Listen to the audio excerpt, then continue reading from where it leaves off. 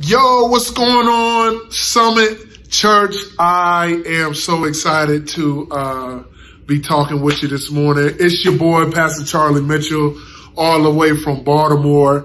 And uh, I am super excited right now because um, I'm standing in the lab. You know, this is this is the lab. We call it the Epiphany Lab um, because it's going to be our new place where we can um, make disciples, make leaders, and multiply our impact in the city of Baltimore. And so I'm super excited about it. So that's our big, big initiative that we're raising funds for praying for and launching out uh, in the in the new year. So um, please, please, please pray for us for that.